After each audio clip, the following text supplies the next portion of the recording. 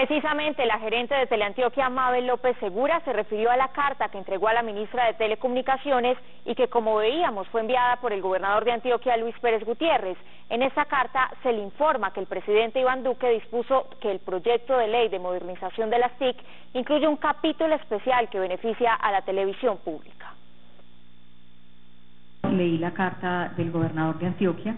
en la que decía que había conversado largo y tendido directamente, personalmente con el presidente Iván Duque. Mabel López, gerente de Teleantioquia, se refirió a la carta que entregó a la ministra de Telecomunicaciones y que fue enviada por el gobernador de Antioquia, Luis Pérez Gutiérrez, en la que se informa que el presidente Iván Duque sugiere que el proyecto de ley de modernización de las TIC incluya un capítulo especial que beneficie a la televisión pública. Pero yo ruego que eso quede, insisto, taxativamente en ese proyecto de ley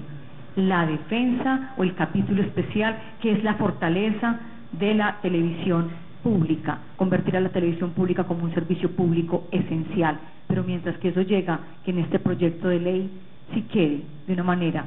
perdonen la reiteración, taxativamente, que la televisión pública se fortalece y es importante y protagonista en este proyecto de ley. El mandatario departamental Pérez Gutiérrez celebró la iniciativa de la gerente de Teleantioquia de tomar la vocería en defensa de la televisión regional. Aseguró que la voluntad del presidente Duque sería un salvavidas para la televisión regional que es patrimonio de todos los colombianos. Solicité al presidente Duque que hiciéramos un capitulito, esa es la palabra que he utilizado, con tres o cuatro artículos donde quede claramente que esta nueva ley de televisión o de telecomunicaciones se acuerda de los canales regionales, le va a seguir aportando para, para producción de televisión como lo hace hasta hoy,